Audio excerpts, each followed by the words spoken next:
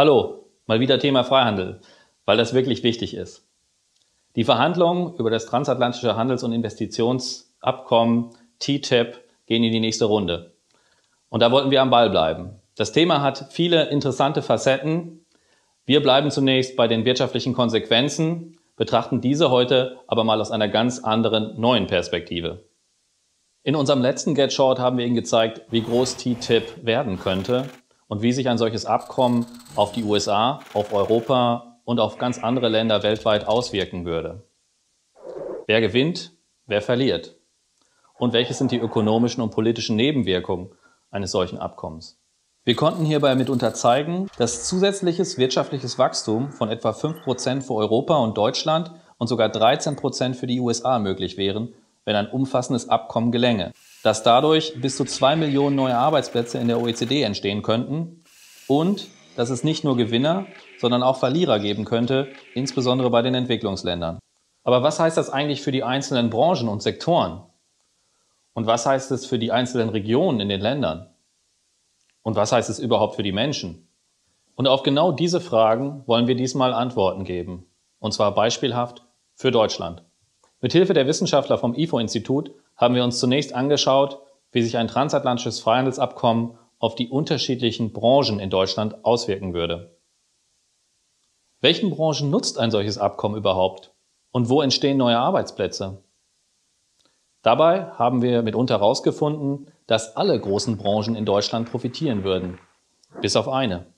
Dass dies indirekt auch nicht exportorientierten Branchen gleichermaßen nutzen würde und warum.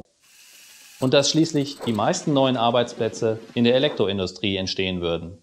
Alle Antworten darauf, inwieweit vielleicht auch Ihre Branche davon betroffen sein würde, finden Sie in diesem Insight.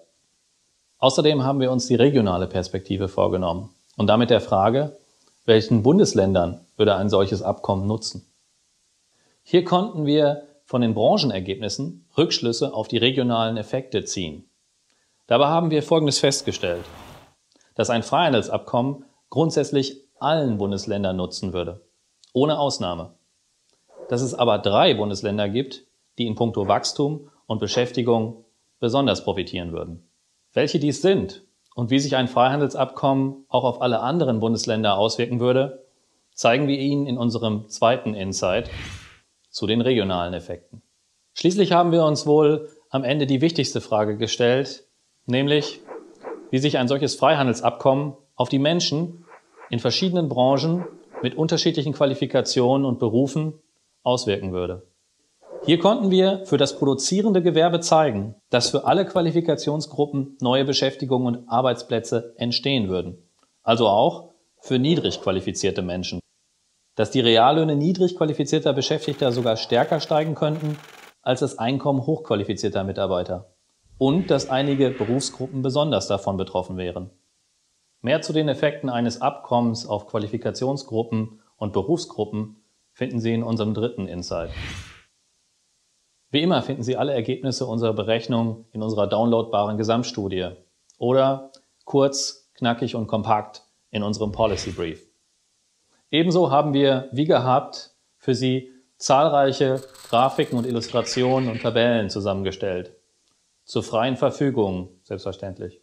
Sollten Sie an weiteren kritischen Aspekten und Perspektiven auf das Thema TTIP interessiert sein, empfehlen wir Ihnen die Blogbeiträge und die Diskussionen unseres Schwesterprojektes futurechallenges.org. Soweit so gut. Im Namen des gesamten GET-Teams wünsche ich Ihnen viel Spaß mit diesem Get Short.